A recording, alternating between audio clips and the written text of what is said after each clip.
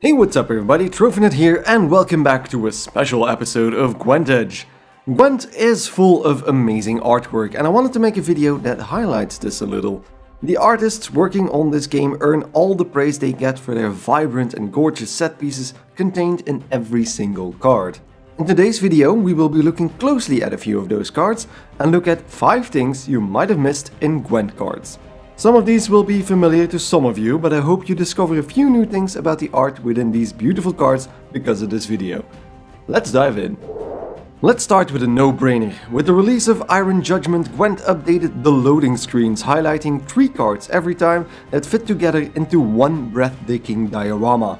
Some of these so-called triptychs actually bring back cards that disappeared during the transition from the beta to Homecoming. The Poor Fucking Infantry, for example, or PFI, now only has its middle card still in the game, but was originally part of a larger group.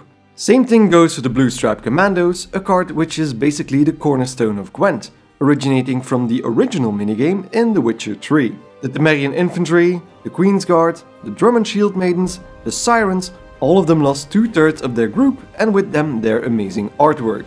Even Lamias, which is now just a special card Hideous Feast, was originally a three-parter. Some trios from the beta never even returned after Homecoming, such as the dragon-slaying Crinfrid Reavers, although I have a feeling we'll see those back sooner rather than later. There even used to be a triple panel card for the Neckers with completely unique artwork that was never used in-game. This take on the Neckers was a lot darker compared to its current card, so that was probably why it was cut. There are still a lot of trios in the game however, mostly focusing on unique characters on each part of the separate cards. Lambert, Vesemir and Eskel form the Kaer Morhen Witchers together, Whispess, Brewess and Weavess are making a lovely stew together as the Crones trio, and Iron Judgment added a few new trios as well. The Nilfgaardian Knights Ramon Tyrconel, Afan Hillergrand, and Fionn var Garnell are happily murdering dwarves together, whilst Zoltan, Munro Bruce, and Figgis Merluzzo are standing in strong contrast slaughtering Nilfgaardians. Both these panels just come to life when put together and that's what makes them so awesome. More of them please. The Phoenix has been in Gwent since the beginning of the beta. It even featured heavily in one of Beta Gwent's story events, the Midwinter Hunt, where Geralt was tasked with killing one of these majestic creatures. But can you even kill a phoenix permanently? Whenever it dies, a new phoenix rises from the ashes and its ability in Gwent showcases this as well. It can resurrect each round using the ashes it leaves behind, but did you know that its artwork even shows this beforehand as well? If you look closely at the design of the phoenix, you'll discover a hatchling phoenix already in its chest. You might overlook it at first since the phoenix itself takes all the attention, but it's there, waiting to burst out once its parent dies. Who's a good little phoenix? Ciri is an important character and this is reflected in her prevalence across Gwent. You have her basic Ciri card, Ciri Dash, and Ciri Nova, each showcasing a different one of her abilities. She's also shown on her horse Kelpie in the artwork of the Imperial Diviner, where the latter tries to locate her for the Emperor.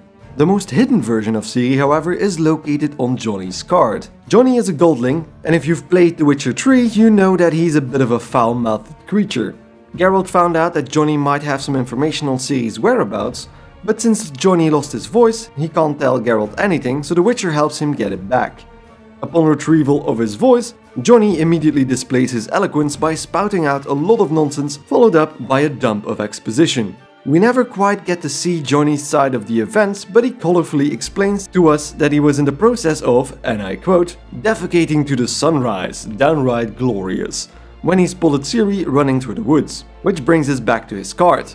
Where The Witcher 3 was a bit shy of showing us a childlike creature shitting, Gwent does not have any of these qualms, showing us Johnny in the process of emptying his bowels in colorful detail. Hidden in the background, however, you can also see that Johnny was in fact speaking the truth, because there she is, Ciri, running through the forest, trying to get away from the crones of Crookback Bog. Another great example of visual storytelling. Shupe! Who doesn't love our adorable rock troll? He's basically the de facto mascot for Gwent and he has his very own card as well. A very strong Swiss army knife that can transform to suit your every need, if you're lucky, Shupe is a force to be reckoned with. But did you ever take a closer look at his artwork?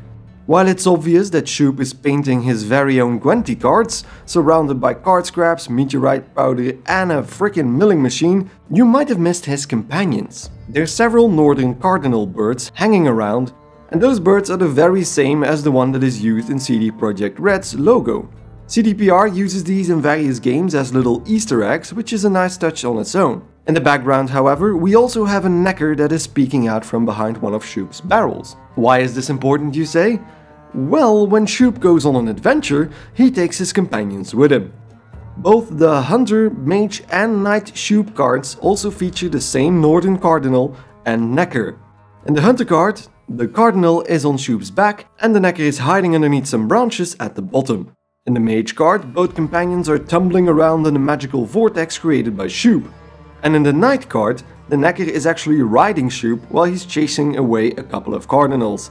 This consistency is something you might not notice at first glance, but it's really cool once you do.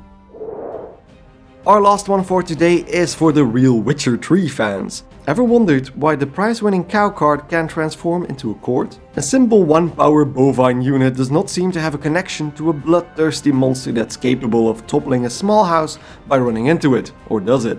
It's actually an homage to an update to The Witcher 3 designed to fix a specific exploit. See, Players were farming the cows just outside of White Orchard, the tutorial area of the game, killing them over and over to gain levels and money early on and giving them an advantage when facing the rest of the game. Nothing problematic in a single player game aside from the horrors of the senseless slaughter of innocent cattle, but the devs at CD Projekt Red decided to have a little fun with the exploit.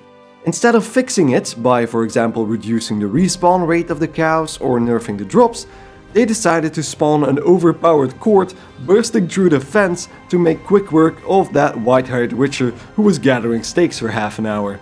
This event was further immortalized in Gwent, as you can see the pile of dead cows on the prize-winning cow card before it transforms into a Chort ready to eat your face off.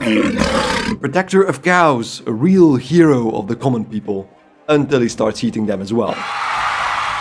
And that's the last one for today. I have a lot more of these waiting for their time in the spotlight, but I wanted to see what you guys think of this video first. Let me know in the comment section down below which facts you learned today, and if you have any other secrets in Gwent that you want me to share with everyone, don't hesitate to let me know as well. As I said, there's more where this came from, so look out for that next video and drop me a like if you enjoyed watching this one. Thanks enormously for watching and for any support, and I hope to see you guys in the next episode of Gwentage. Goodbye!